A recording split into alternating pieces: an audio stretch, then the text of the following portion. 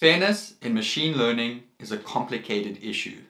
To make matters worse, the people responsible for building models do not necessarily have the skills to ensure that they are fair. This is because the reason for unfairness go beyond data and algorithms. And solutions will also need to go beyond these aspects of model development. To understand this, we'll start by discussing different quantitative approaches. We can divide these into pre-processing, in-processing, and post-processing methods. This division depends on what stage during model development they are applied. We'll end by discussing some non-quantitative approaches. To effectively address unfairness, it will take a combination of quantitative and non-quantitative approaches. If you want a deeper look at some of these methods, as well as references, then check out the article linked in the description. Also, make sure to wait until the end of the video where I explain how you can get access to a Python SHAP course. Bias models can be a result of biased data. Pre-processing methods try to remove this bias from data before a model is trained. In a previous video, we discussed some sources of bias in data. One of those reasons was historical injustice being reflected in a target variable. For example, due to sexist hiring practices, we may end up with a higher proportion of women being rejected from job applications. To address this, one pre-processing method could be to do a review of old applications and to swap the target variables of unfair decisions. That is, we relabel some job applications and artificially increase the number of women hired in our dataset. Another reason for an unfair model is proxy variables. These are model features that are highly correlated or associated with protected variables, such as race or gender. Other approaches look at repairing or removing this association between the protected variables and proxy variables. An example of such an approach is disparate impact removal. This works by modifying features so the distribution for the privileged and unprivileged groups becomes similar. Here we can see how the income distributions for males and females have been modified. Disparate impact removal works by maintaining the rank order within the different groups. If you were the highest earner in the privileged group, you will remain the highest earner in that group. Only the rank order between the two groups is affected. The result is we will no longer be able to use the feature to distinguish between the two groups. At the same time, we will retain some of the feature's ability to predict the target variable. An advantage of pre-processing methods is that they can be used with any machine learning model. A major downside is that we lose the interpretation of our features. That is because after shifting a feature's distribution for multiple protected features, they lose their original meaning. Our next set of methods are in-processing methods. These aim to adjust algorithms so that they will produce fair models even if they are trained on biased data. For regression, one approach is to add a penalty parameter to the cost function. This works in a similar way to regularization, except instead of reducing model complexity and overfitting, we choose a penalty parameter that will reduce unfairness. We discussed some definitions of fairness in a previous video. We could choose a penalty parameter that will help satisfy one of these definitions, such as equal opportunity. In this case, we would penalize the model if it did not produce equal true positive rates for the privileged and unprivileged groups. The downside to these approaches is that they can be difficult to implement in practice.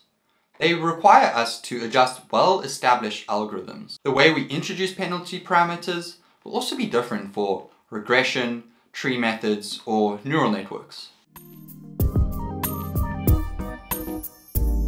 Our final set of quantitative methods are called post-processing methods. These work by adjusting the predictions made by the model. One approach is to use different probability thresholds for privileged and unprivileged groups. Suppose we build a logistic regression model to predict default on loan application. If that model predicts a probability less than 0.5%, then we label that application as no default and give the person a loan. Suppose we find that using this probability threshold, the model is being biased towards women. That is, a higher proportion of women who should receive loans are being rejected. We could fix this by raising the probability threshold for women only. An issue with this approach is that we need information about protected variables at time of prediction. That is, we need to know the person's sex in order to know which threshold to apply. In many situations, due to various legal or privacy reasons, this type of information is only available during training. Data scientists tend to focus on these quantitative approaches to fairness. As we have seen, they all have their own limitations. In general, it would be naive to assume that we can solve unfairness through adjusting data and algorithms alone. So, what are some of the non-quantitative approaches we should consider? The first is awareness of the problem. If you're watching this video, you probably don't have to worry about that one. However, this does also mean educating colleagues and other professionals about potential issues. In my experience, many data scientists do not even know that models can be unfair. Some will even refuse to believe that they can be unfair.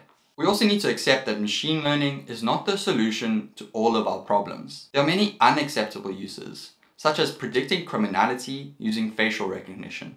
In these cases, the best solution to unfairness is to not to use machine learning at all. Instead of completely discarding machine learning, we can limit how it is used. This can involve applying certain manual checks or interventions on automated decisions. Going back to our loan example, instead of automatically rejecting or accepting all applications, we could introduce a third outcome, referred. In this case, the application would be manually checked by a human.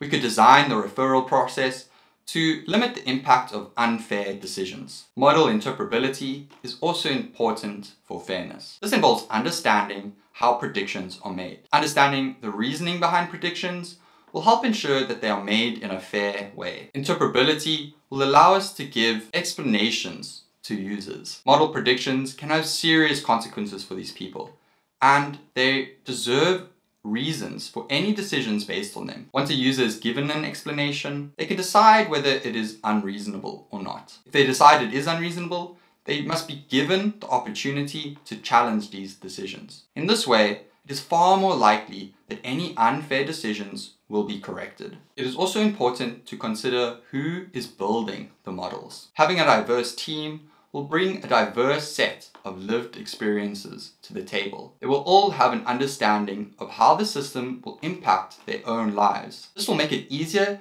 to identify potential fairness issues before the model is deployed. Lastly, unfairness in models or data is a reflection of unfairness in reality. If we address the true underlying issues, we can also solve the problem within our data. This will require a shift in company or government policy. Investing in diverse teams is one example of this.